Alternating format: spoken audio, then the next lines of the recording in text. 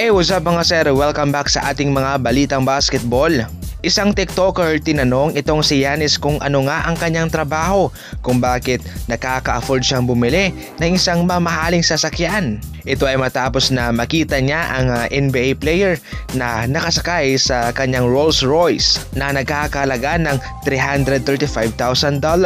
At ang sabi nga ni Yanis kung ano ang kanyang trabaho, ang sabi niya, Bitcoin. Hey man, love your car. What do you do for a living?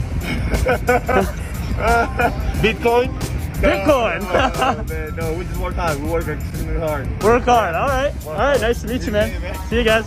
Asamantala sa ating ibang mga balita, Eddie Johnson, ang former NBA player. Sinabi niya na ang bagong bersyon ni KD ay itong si Michael Porter Jr. Ito nga ang nakikita ng former NBA player na si Eddie Johnson kay uh, Michael Porter Jr. Sa ngayon nga, nag-average nga itong si Michael Porter Jr.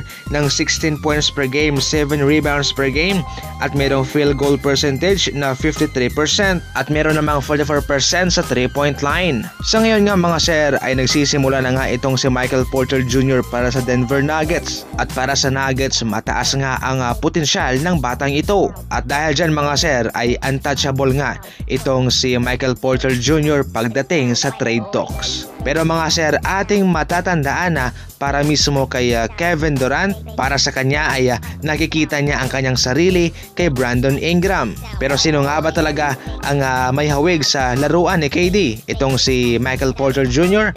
o itong si Brandon Ingram? At sa ating huling balita mga sir, sinubukan pala ng Pelicans na i-trade itong si Lonzo Ball para kay Kelly Oubre Jr. Pero ang problema nga lang umatras itong Golden State sa nasabing trade. Kung saan heto nga ang proposed trade sa pagitan ng dalawang team kung saan matatanggap ng Golden State itong si Lonzo Ball at mga draft pick at matatanggap naman ng Pelicans itong si Kelly Oubre Jr. Pero ang katanungan mga sir, sinaya nga ba ng Golden State itong si Lonzo Ball? Kung saan kahapon nga mga sir tumala nga siya ng 27 points at nakapasok ng 8 3-pointer at mayroong siyam na assist. Sa ngayon nga nag-average si Lonzo Ball ng 14 points per game, 4 rebounds per game at 5 assists per game. Ah, samantalang si Kelly Oubre Jr. ay nag-average ng 15 points per game, 6 rebounds per game at 1 assist per game. At dahil nga hindi na i-trade itong si Kelly Oubre Jr.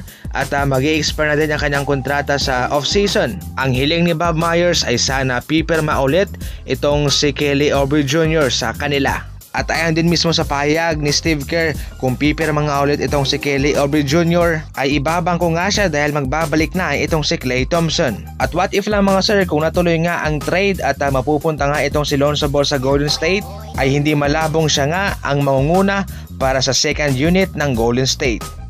Pero bago tayo magtapos, shout out muna sa ating early bird na si Albert Camino at yan lang muna sa ngayon ang ating mga balitang basketball. And as always, thank you for watching. It sound right, boys.